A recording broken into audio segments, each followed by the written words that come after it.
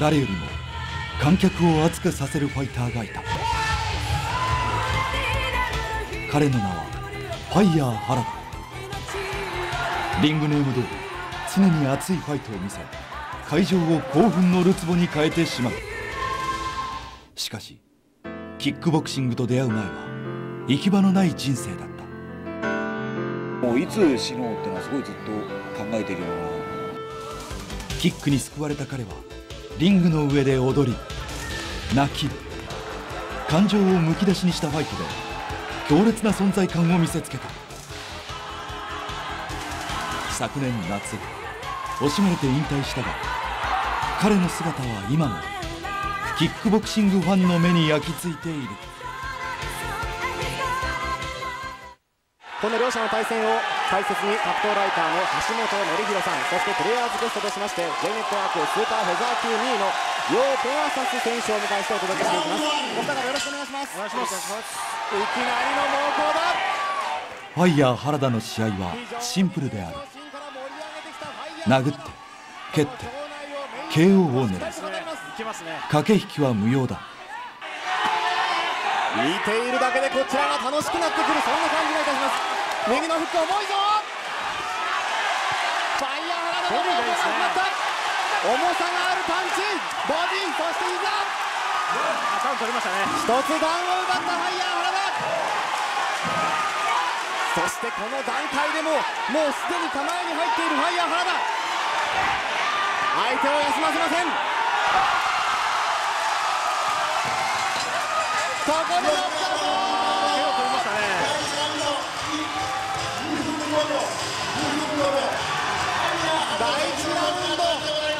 ここでファイヤー原田の KO 勝利です。ここはトップとファイヤー原田のファイヤーダンスをご覧ください。ありますけど、まあ、この試合どっちが倒れてもおかしくないですから、試合に勝利するといつもこの奇妙なダンスで喜びを表現した。ファイヤーダンスと呼ばれたこの勝利のダンスを踊ると観客との一体感が生まれた。な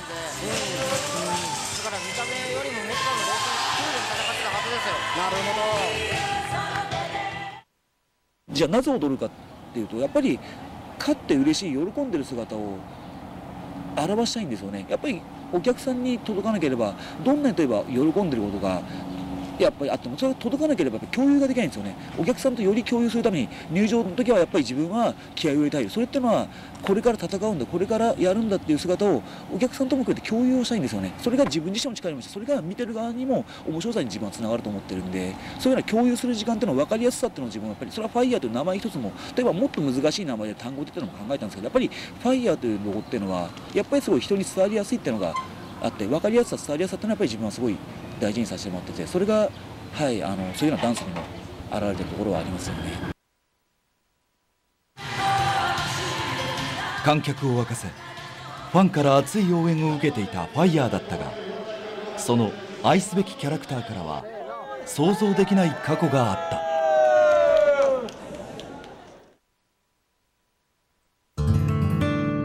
た埼玉で生まれその後東京の八王子で育ったファイヤー原田。内向的な性格で幼少時代から周りの環境に溶け込むことができなかった。普通にまあ仲間が全然いなくてなんか全然まああいつは話さない方がいいよみたいな感じの特に何か別に暴力を振られたとかそういうわけじゃないんですけど普通になんかなんかもうあいつとは話すなみたいな話さない方がなんかまあちょっと気持ち悪いよみたいな感じですかねなんか。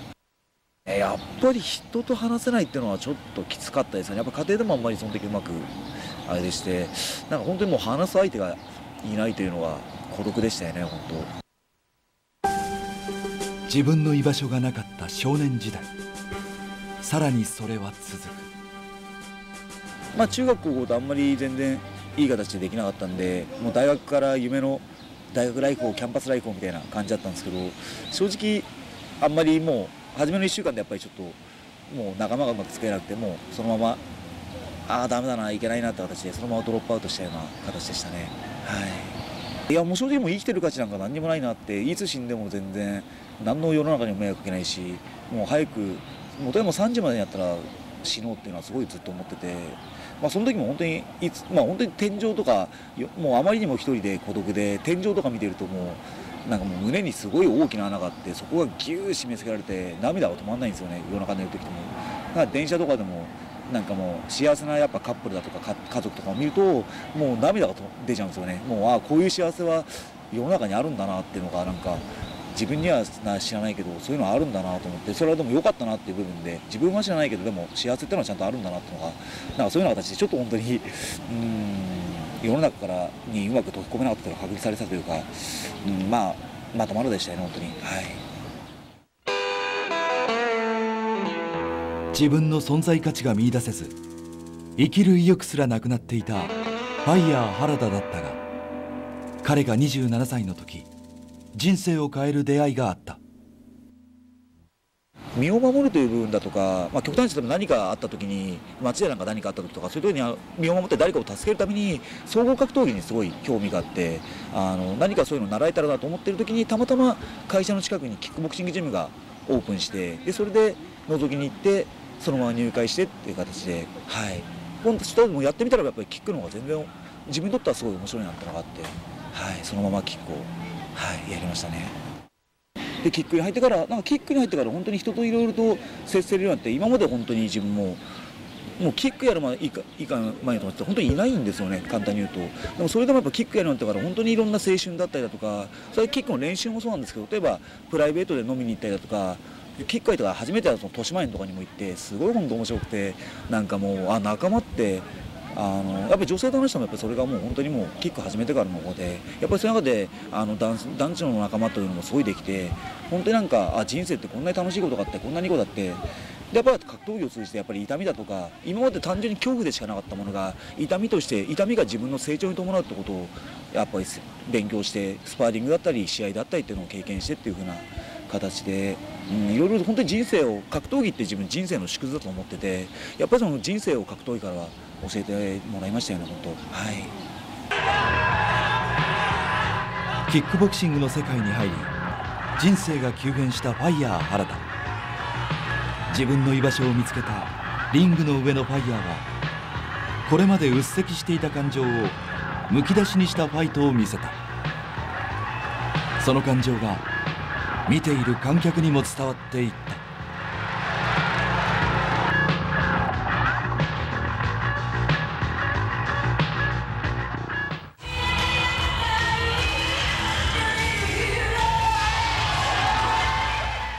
感情を最もあらわにした試合があった。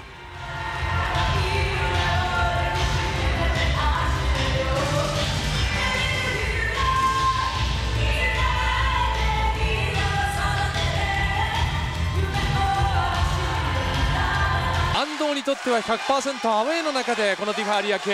観客も敵にして戦っています。準決勝進出はどちらか。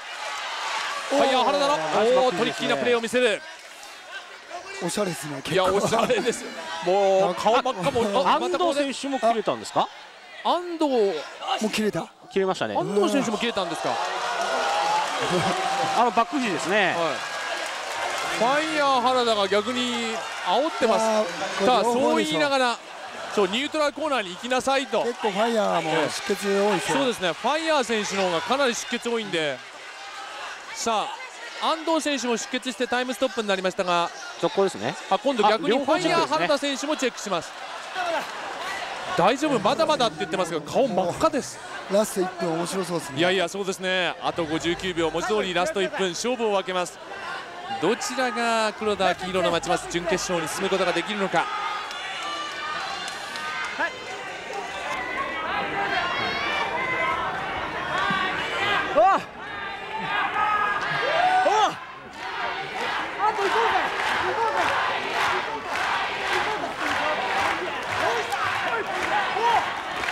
ファイヤー原田を煽ってさあ前に出る。どっちも下がらないですね。どちらも下がらない引かない引かない。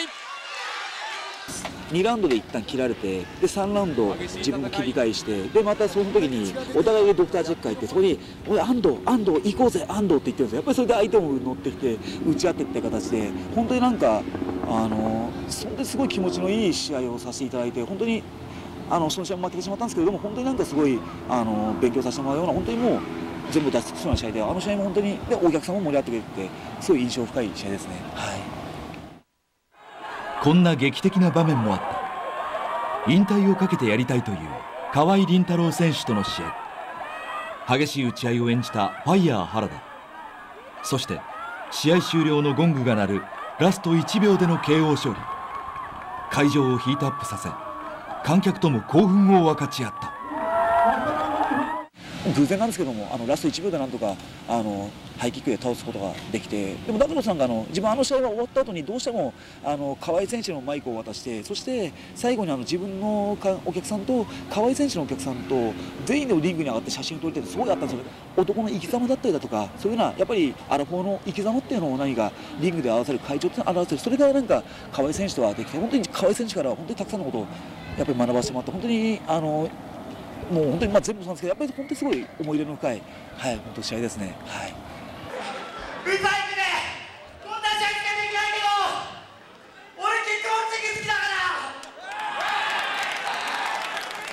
試合に勝利した後のマイクパフォーマンスは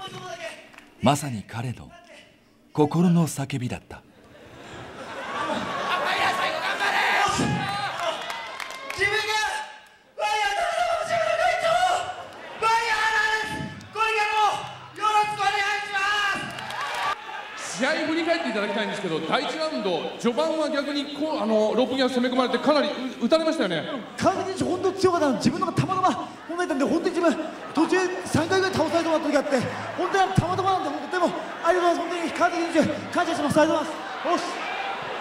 川島選手非常に強かったんだけど僕が勝ったのはたまたまだとファイヤー選手おっしゃっております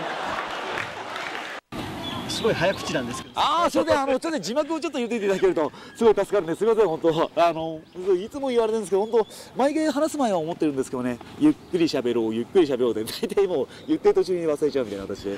あと人と話してこなかったんで若い時にやっぱり人と話す時にうまくやっぱり未だに喋れないってのがありますよね。だからそれでやっぱり伝えたいことうんぬんがああなっちゃうみたいな形で炎の男ファイヤー原田を夢中にさせたのはプロレスとアイドルだった K1 に出た時にあのザ・グレートさんからメッセージをはい、見ていただいて、まあ、本当嬉しかったですこれはあの自分全然知らなかったなんかここで K1 のあの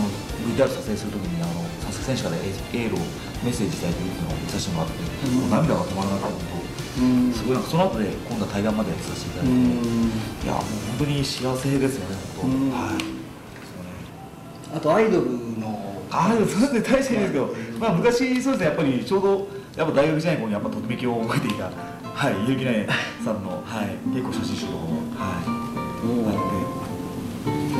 い、結城大さんのどういうところが？あって、そうですね、やっぱり、うーん、なんか透明感というか、なんかその、あと、うん、なんかすごい、なんかすごい、男の心を喜ばせるのが分かってるというか、あと、受け入れてくれそうな感じの優しさとか、まあ、そういう部分がすごい出てますよね、なんか。はい。今でも好きですか？いやでもやっぱりそうですね。あのやっぱりでもあの、うん、やっぱりすごいいいですよね。やっぱり一応自分好きなと思ってずっとすごい好きでずっといるんで。はい。なんかすごい本当になんか、うん、やっぱりいろんなんていうんですかね。そういうなんか青春ですよねやっぱり。はい。7月のヒストリーチャンネル極秘文書の謎に迫る秘密ファイル。未だ正体が明らかにされない未確認生物。そして世界のミステリー。この夏は3つのカテゴリーから謎に迫る。ミステリースペシャル2012ヒストリーチャンネル。スカイ A がお送りするボクシング中継。月は？WBA 女子世界スーパーフライ級タイトルマッチ。天海津波対山口直子の一戦を7月21日土曜日午後8時から。OPBF 東洋太平洋スーパーバンタム級タイトルマッチ。小國以載対芹江匡晋の一戦を7月22日日曜日午後3時30分から。連日タイトルマッチを放送。スポーツプラス。今月は7月18日伝統の阪神・巨人戦は完全生中継で放送決定。未来のスーパースターが一堂に集結。プロ野球フレッシュオールスターゲーム完全生中継。夢の甲子園へ夏の高校野球地方大会決勝戦連日放送。LPGA ステップアップツアーガストロールレディース。朝一番から生中継。詳しくはこちら。生駒佳代子と武田美穂のゴルフステッププラス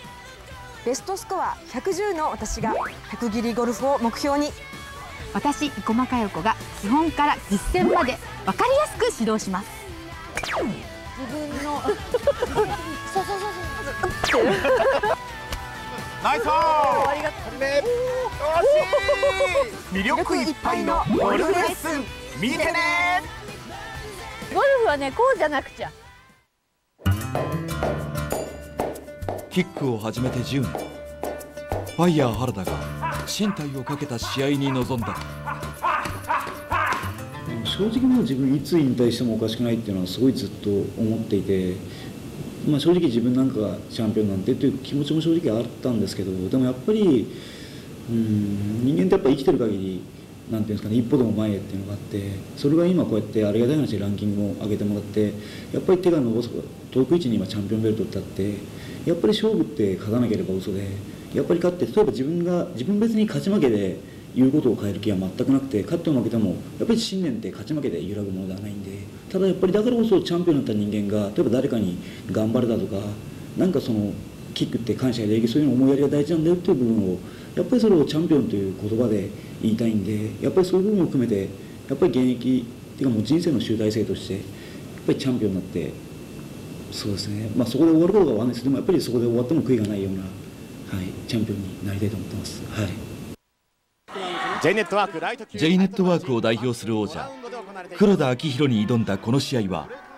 ファイヤーにとって初のタイトルマッチだった。1ラウンドから全く戦いスタイルを変えないファイヤー原田。このラウンドもゴングと同時に前に突進していきました。足効いてますね。足を引きずっていますかなり苦しい表情を見せているファイヤー原田。今までやってきたことを全力で出していく。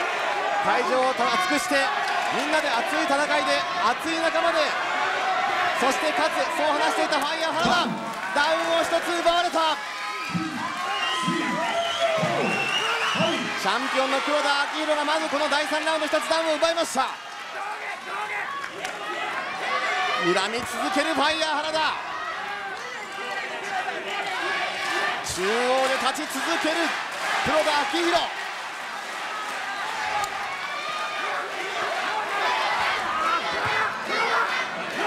中野さんかなり足に来てますね。そうですね。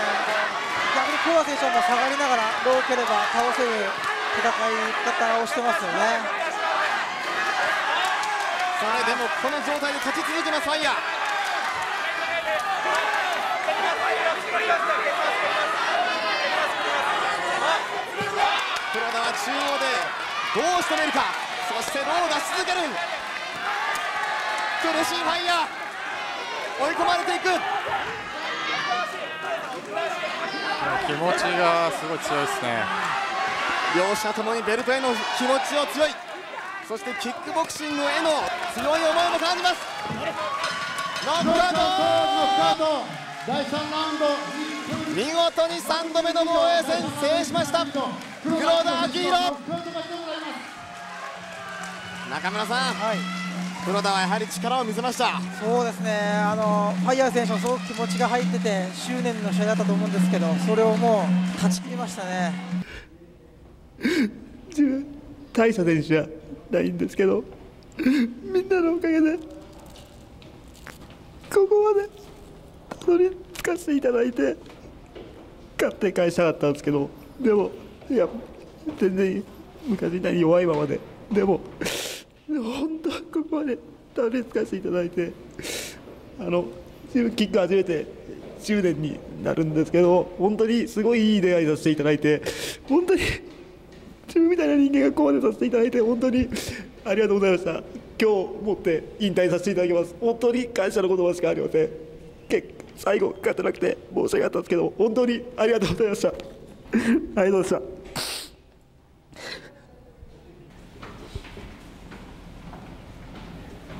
燃え尽きたファイヤーは静かに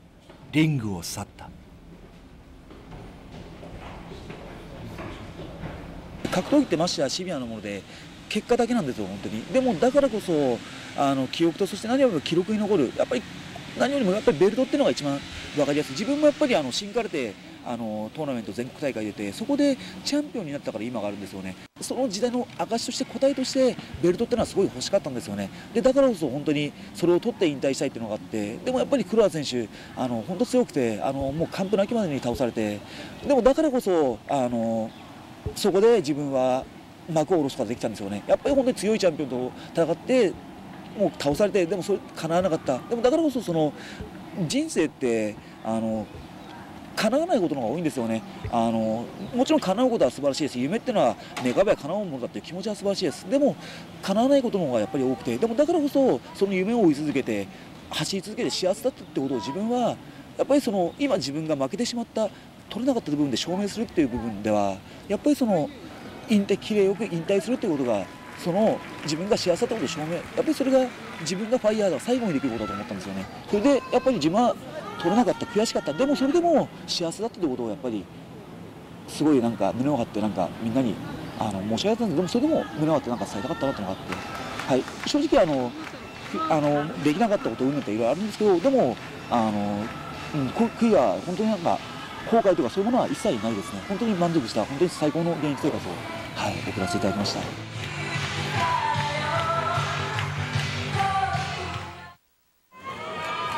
引退したファイヤー原田は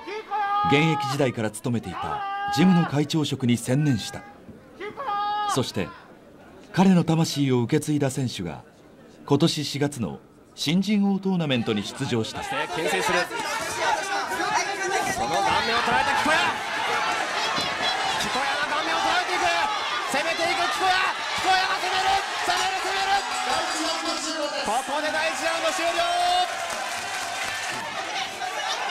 そのあたり師匠の思いを乗っけてパンチを出していく木小屋ここも攻めていきます。顔面を捉える木小屋おお打たせて打つですね。ノーガードで攻めていきます木小屋攻めていく。今今みたいですね。受けながらも攻めていく木小屋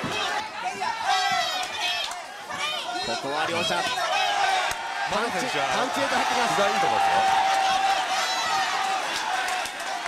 頭を打ってこい木小屋、あれ頭を打たせてるんですね。なるほど、はい。セコンドアウトセコンドアウト。高津が松選手の上回ってますよね。おっとしかしここは木小屋だ。ここは木小屋だ。両者倒れない。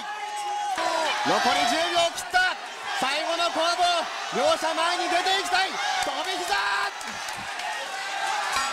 そして右試合終了戦いに関した両選手に大きな拍手をお願いいたします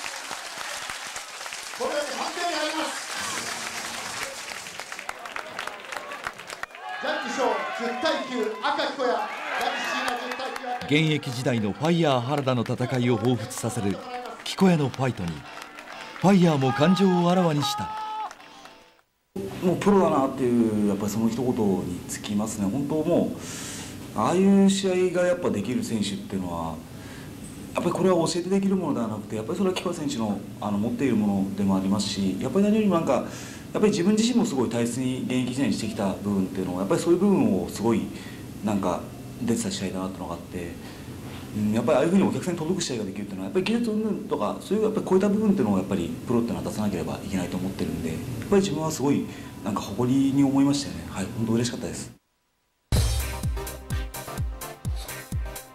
ファイヤー高田の馬場ジム期待のホープ木小屋智則。彼もユニークな経歴の持ち主である。大学時代は学生プロレスに打ち込み過激な試合を見せていた。現在は老人保健施設で介護の仕事をしながらプロキックボクサーとして生活をしている。まあ暑いですね。もう一言で言うと会長暑いです、うん、まあ試合もそうですけど試合以外でもこう見せるオーラみたいなのがあるんで、はい。うん。しまあ、試合ももちろんお客さん引きつけるっていう面もありますし、まあそういうところはすごいなって思いますね。その辺は木小屋さんもやっぱり自分をそうしやろうと。やっぱり会長の姿を見てそういうスタイルでやろうと思われてるんですかね？そういうそうなんか会長のあれはでも多分真似しようとしても多分できないと思うんですね、やっぱ会長の持ってるその才能っていうかものだと思うんで、うんまあでも会長の、ね、ああいう盛り上げとかに自分も追いつけたらなとは思いますね、はい木小屋さんは自分はどういうファイトスタイルでこうプロとして今やっていこうかなと思われてるんですか？うん自分はもう前に前に出て、うんまあ、逃げずにそうですね逃げずにもう、まあ、打ち合い上等な覚悟でこう常に前に出て出ながら行って戦ってでその上でお客さんを楽しませられればいいかなと思ってますね。はい。あとは今後の目標といいますかどういう将来像といいますか目標今ころありますか？そうですね。とりあえず今は新人王の途中なので、まあ、新人王を取って、うん。ですね、新人王を取ることですね